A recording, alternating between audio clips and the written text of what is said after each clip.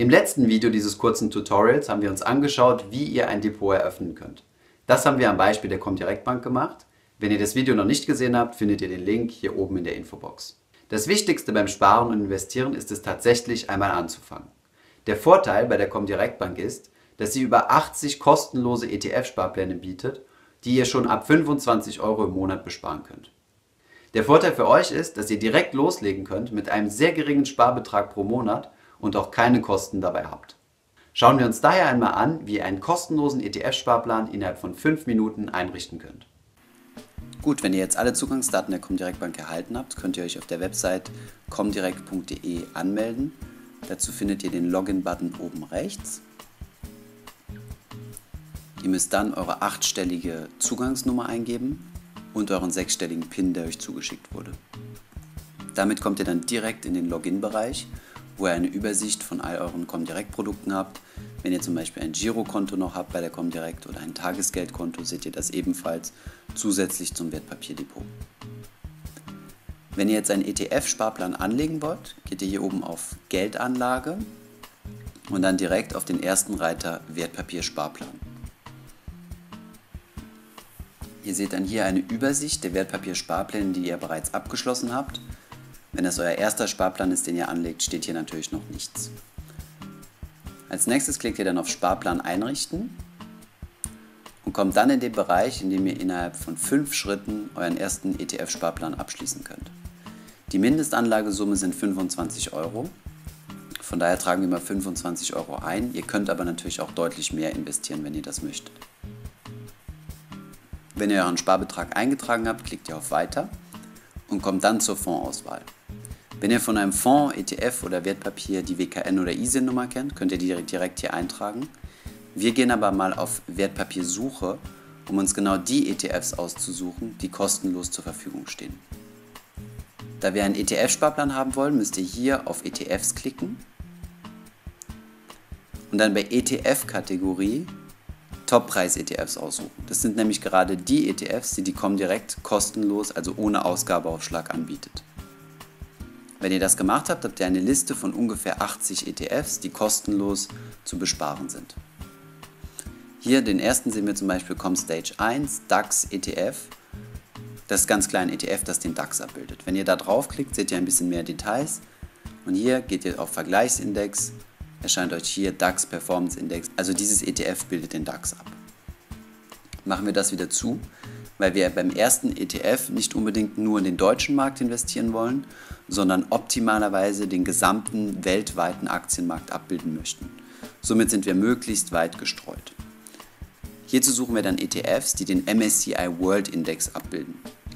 Scrollen wir also ein bisschen runter, sehen wir die gesamten ETFs, die angeboten werden und kommen dann auf die ComStage MSCI ETFs. Hier haben wir zum Beispiel einen MSCI Pacific X Japan.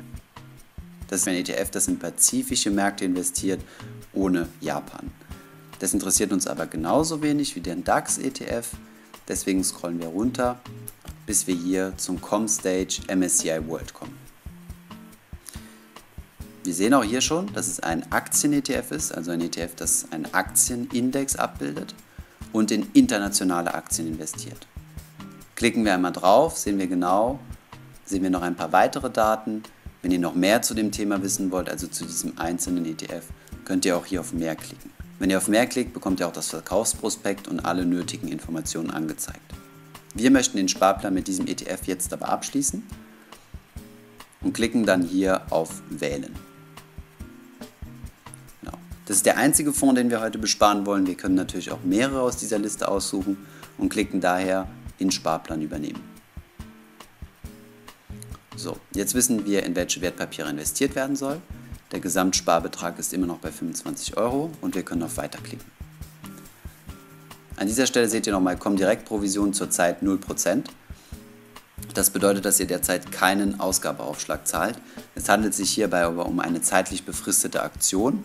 Wie lange das ist, das kommuniziert die Comdirect nicht. Allerdings kann es sein, dass sich irgendwann die Konditionen ändern und ihr hier Gebühren zahlen müsst.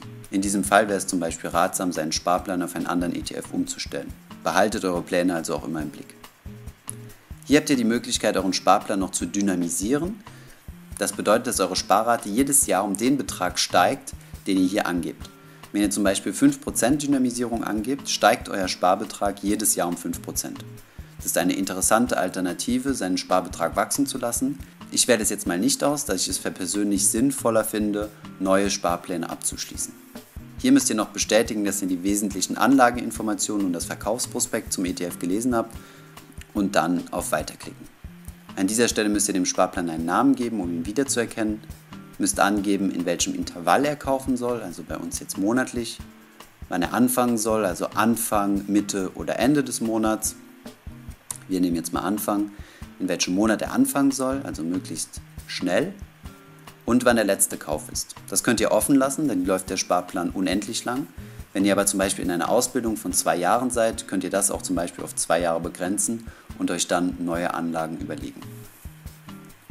Wenn ihr ein Girokonto bei der Comdirect Bank habt, könnt ihr einfach hier Girokonto anklicken. Wenn ihr noch keins bei der Comdirect habt, könnt ihr hier eure IBAN des entsprechenden Kontos eingeben, wo die Comdirect Bank dann abbuchen soll. Ich habe ein Girokonto bei der Comdirect. Von daher klicke ich das an und weiter. Kommen wir nun zum letzten Schritt. Jetzt müsst ihr den TAN eingeben, der auf eurer TAN-Liste steht, den euch die Comdirect zugeschickt hat. Und mit dem Klick auf Freigaben zahlungspflichtig wird euer ETF-Plan aktiviert. Hier habt ihr nochmal eine Übersicht, 25 Euro ab dem 01.06.2016. Derzeit fallen keine Gebühren an.